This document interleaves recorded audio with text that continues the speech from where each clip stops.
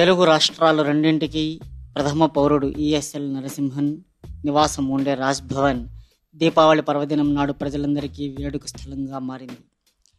Governor Narasimhan Raj భవన్లో దీపావళి వేడుకలకు ప్రజలందరికీ బహిరంగ ఆహ్వానం పంపారు. ఉభయ రాష్ట్రాల ప్రజలు రాజ్ భవన్లో జరిగే దీపావళి వేడుకలకు హాజరు కావచ్చునంటూ ఆయన బహిరంగంగా పిలుపునిచ్చారు. ఇది నిజానికి కొత్త సంప్రదాయం.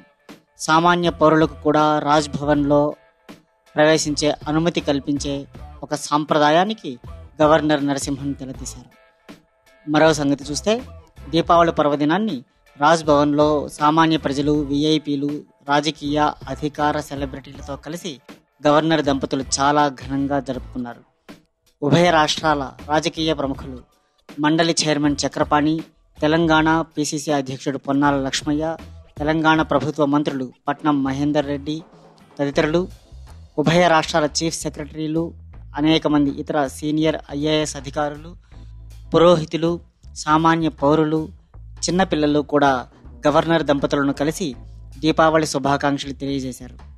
మొత్తానికి ఒక కొత్త సాంప్రదాయానికి తెరతీస్తూ గవర్నర్ బంగళాలోనికి సామాన్యులకు ప్రవేశం కల్పిస్తూ పండుగ జరుపుకోవడం అందరికీ ఆనందం కలిగించింది.